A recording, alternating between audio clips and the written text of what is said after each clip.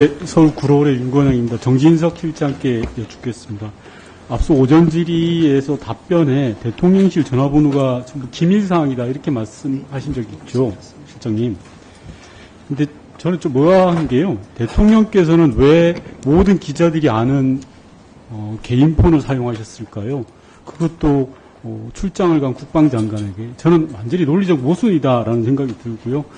앞서 오전 질의에서 많은 의원님들이 7월 31일 날 안보관계 수석 보좌관 회의에 대해서 질의를 하셨습니다. 그런데 언론 보도에 따르면 대통령실 고위 관계자가 대통령의 관여는 있었다라는 보도가 있었어요. 관여, 관여했다. 대통령실이. 대통령이 두 번이나 관여했다라는 보도를 본 적, 본 적 있으세요, 실장님? 좀 아니, 실장님 죄송한데 그런 보도를 안 보는 게 저는 용산 대통령실이 제대로 운영이 안 되고 있다고 생각하거든요. 대통령실과 관련된 언론 보도는 매일같이 스크랩하고 보고하고 하는 게 상식 아닌가요? 대통령실 관련해서 대통령께서 관여했다라는 MBC 보도가 있었습니다. 근데 그런 보도를 안 봤다. 수많은 보도를 접하고 아, 수많은 있고 보도가 아니죠. 윤석열 대통령이 최, 최혜병 관련해서 관여했다. 그것도 두 차례나. 라는 보도가 있는데 그걸 안 봤다는 게 말이 됩니까? 전혀 상식적이지 않은데요. 최소한 당시에는 보지 못했더라도 오늘 운영위를 준비하면서는 Q&A 안에 그게 있었겠죠. 없었을 리가 없지 않습니까? 저도 청와대에서 8년 있어 봤는데 그거 없을 리가 없습니다. 당연히 비서실장하고 안보실장한테 그런 보고를 했겠죠. 이런 보고가 있었다. 사실인지 아닌지를 제가 묻는 게 아닙니다. 그 언제적 보도입니까? 아, 그걸 저한테 물을 일이 아니죠. 비서실장께서 그걸 알고 오셔야죠. PPT 봐주시기 바랍니다. 넘겨주세요. 넘겨주세요. 넘겨주세요. 예. 7월 31일 날 경로와 관련해서 어, 도대체 어떤 일이 있었는지 제가 PPT 한 장에 정리를 해봤습니다. 대통령께서 11시에 수석 보좌관 회의가 있고 난 다음에 수많은 전화들이 오고 갔습니다. 11시 54분에 대, 윤석열 대통령으로 세워놓은 것은 제가 추모이기 때문에 그에 대한 토를 달지 말아주십시오. 이처럼 많은 전화 통화가 있었습니다. 다음 PPT를 보면 정리해 보면 대통령 부속실장이 국방비서관에게 6차례 전화하고 안보실장과 국방비서관은 국방장관에게 12차례 전화를 합니다. 이게 아무 일 없었다라는 게 말이 됩니까? 저는 도저히 상식적으로 이해가 되지 않고요. 가장 중요한 날짜가 8월 2일입니다. 최혜병 사건에서 가장 중요한 날이라고 생각하는데요. 실장님께 질의하겠습니다. 이날 대통령께서 하루 동안 국방장관과 3번, 차관과 3번, 국방비서관과 한번총 7차례 통화를 했습니다. 시간을 다 합쳐보니까 36분이 넘습니다. 안보실장 등이 언론에 나와서 뭐라고 했냐면 자연스러운 일이다. 우즈베키스탄과 방산협력 등 업무 때 방산협력 등의 업무 때문이라고 주장했습니까? 정말 그렇습니까, 실장님? 뭐 국방 현안에 대해서 아니, 우즈베키스탄 방산 협력 때문에 36분인가 통화한 게 맞습니까? 제가 구체적인 내용은 확인하지 못했습니다. 실장님, 내용을 확인 안 하면 오늘 운영에 왜 오신 겁니까, 도대체? 최소한 내용을 확인하고 이 자리에 계셔야 되는 거 아니에요? 오전에도 계속 비서실장님, 안보실장님 모든 참석자가 다 그럽니다. 기억이 안 납니다. 모릅니다. 기억해서 오셔야 되는 게 오늘 이 자리예요. 다시 묻겠습니다. 안보실장 등이 언론에 나와서 자연스러운 일이다. 우즈베키스탄과의 방산협력 등 업무 때문이라고 주장했습니다. 정말 그렇습니까, 실장님? 그 시점에 통화 지금 말씀을 지적하신? 시점에 아닙니다에 대해 좀 짧게 이야기해 충분히 말씀할 기회를 우즈, 나중에. 우즈벡과 관련된 안보 현안, 외교 현안이 다뤄지던 시점은 자, 다음 맞습니다. PPT 봐주십시오.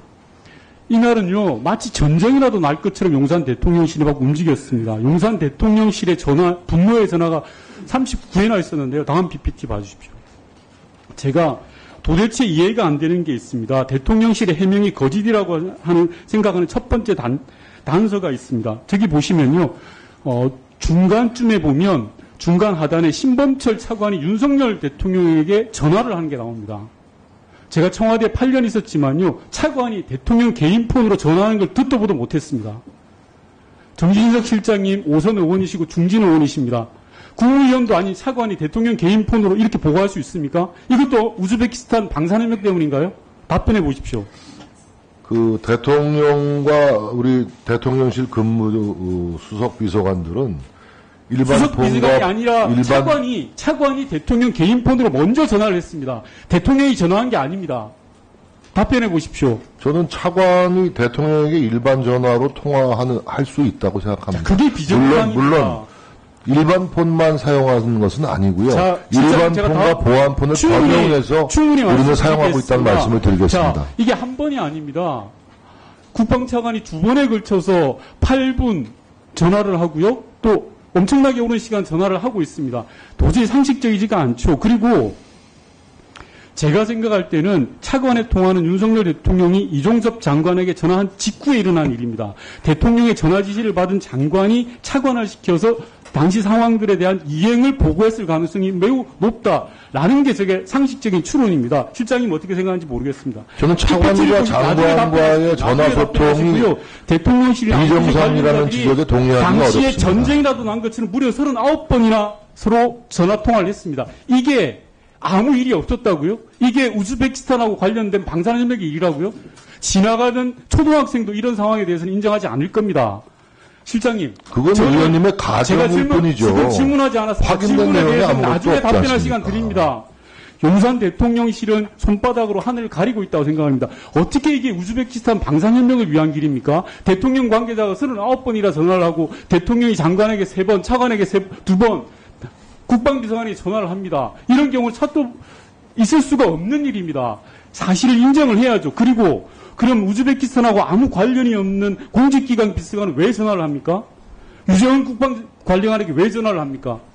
거짓말도 정도껏 하셔야 된다고 생각을 합니다. 상식이 아니잖아요. 아니, 7월 공직- 30일에 공직기관 마지막에 비서관이 7월 왜 30일 대통령 법무관리관하고 통화를 못 답변은? 마지막에 하시라고 말씀드렸습니다.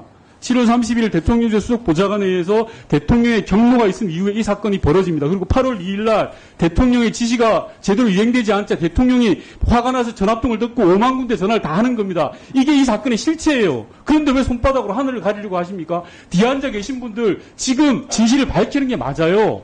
나중에 가서 특검이나 국조에 다 나올 이야기입니다. 지금도 거짓말이 하나하나 밝혀지고 있지 않습니까? 왜 거짓말 하십니까? 답변하십시오. 저는 거짓말을 한 바가 없고요. 대통령과 관계장차관 간의 전화소통은 매우 자연스럽고 일상적인 일이라고 저는 생각하고요. 그리고 지금 의원님께서 말씀하시는 것이 이제 대통령이 어, 관계자들과의 어떤 부적절한 통화를 자꾸 주장하시는 것 같은데 그 주장에 대한 근거는 아무것도 없습니다, 지금. 그렇게 느낌만, 느낌이고 일방적인 주장일 뿐이지. 아니 공직기관 비서관이 우즈벡 방산 협력을 대화 통화를 했는지 제가 잘 모르는 일입니다. 알고 오세요, 그럼. 예, 윤문영 의원님 수고하셨습니다. 다음은 김정재 의원님 질의하겠습니다. 네,